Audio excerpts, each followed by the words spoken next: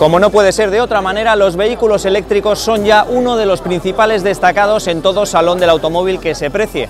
A continuación te voy a mostrar los vehículos de cero emisiones más espectaculares del Salón de París. Y comenzamos con este Renault EZ Último, que en realidad se pronuncia Easy Último. Un vehículo robotizado, autónomo, conectado y por supuesto 100% eléctrico.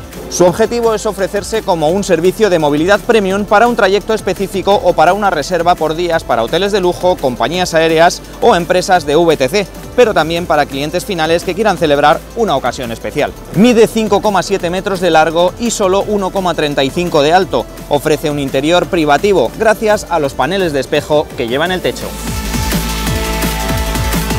Gracias a su distancia entre ejes de 3,88 metros, el habitáculo parece un salón. De hecho, dispone de un sillón que va en el sentido contrario de la marcha y utiliza materiales nobles como el mármol, la madera y el cuero.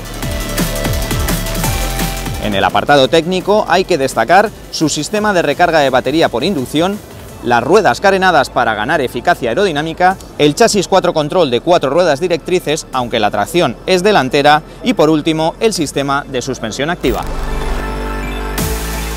Este prototipo de Smart que ves aquí se llama Ford Easy. Se basa en el Smart EQ Fortune Cabrio y como guiño al lema original de la marca se reduce al máximo.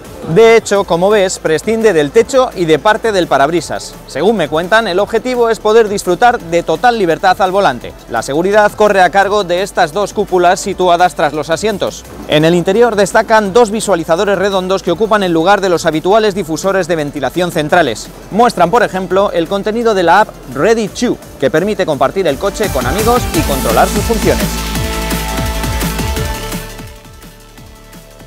Terminamos esta selección de los eléctricos más espectaculares de París con este Peugeot e-Legend, un modelo con el que la marca del León quiere dejar claro que los coches del futuro no tienen por qué estar vacíos de sensaciones. Por si no te has dado cuenta, se parece muy mucho al 504 Coupé, un modelo al que rinde homenaje ya que en 2019 se cumplen 50 años de su lanzamiento. Es algo más pequeño que el 508 y está propulsado por un sistema 100% eléctrico con un motor de 340 kilovatios de potencia y baterías de 100 kilovatios hora. Su autonomía teórica es de 600 kilómetros, acelera de 0 a 100 en menos de 4 segundos y alcanza una velocidad máxima de 220 kilómetros por hora.